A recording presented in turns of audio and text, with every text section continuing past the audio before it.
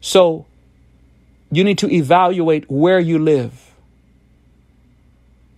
People are taking heed to this whether you want to believe it or not, whether you think I'm talking and saying something too drastic. You say, well, no, I'm not going to move. I've lived here all my life. My family has lived here all our lives. I'm telling you, it's happening all across our nation. People are moving away from places, not only places that have strict laws on certain things. No, they're moving away from places in which have been uh, infiltrated with abominations and demonic powers, where the demonic power is so thick that you can almost feel it and sense it in the physical realm. That's just how thick the rebellion, and that's just how the thick the sin and the stench of the foulness of those cities is.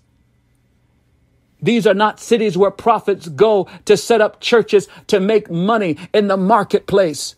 These are not the cities where ministers go to make money in the marketplace because every place, hear what I'm telling you, every place that is ravaged with sin, every place that is infiltrated with great abomination and rebellion also has become hubs of, of marketplaces where millions and billions of dollars go through on a weekly and daily basis. I know what I'm talking to you about tonight. And ministers go because they see dollar signs. They don't go because they see souls. If true prophets went to these cities that are headed for great destruction, they should warn them.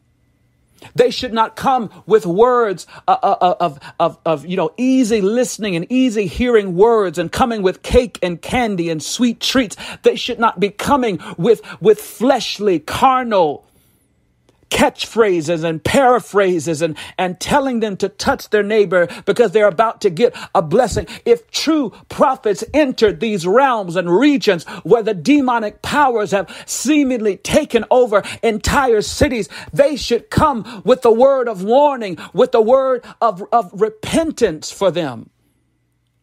Bring the fruit of repentance. They should go crying loud as John the Baptist did, as he prepared the way for Jesus. He was as the one crying in the wilderness, Prepare the way of the Lord. I'm telling you tonight, Atlanta better prepare the way of the Lord. The prophets in that city, they must cry out to prepare the way of the Lord. The prophets in the city of Los Angeles, the prophets in the city of St. Petersburg, the prophets in the city of uh, San Francisco, the prophets in the city of St. Louis, the prophets in the city of New Orleans, the prophets in the city of, of Dallas, Texas, the prophets that are in the city. The men and women of God in the cities of New York of Baltimore, of Washington, D.C.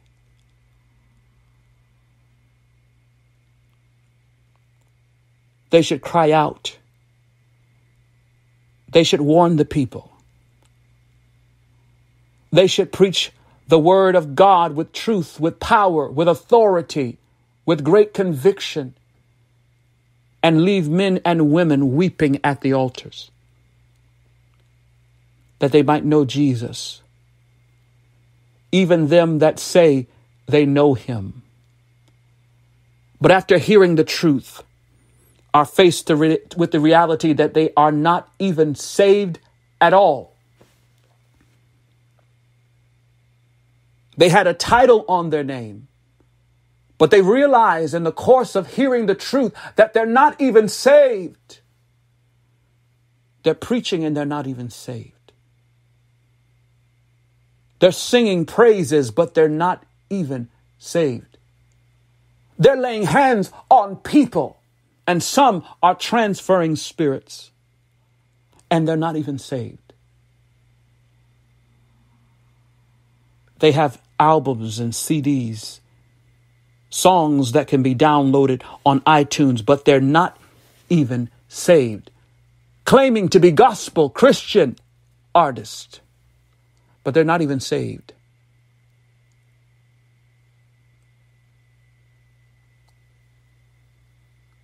There are great woes.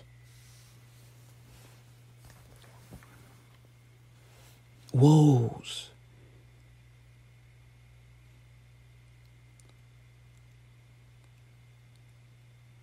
There's a woe in the earth.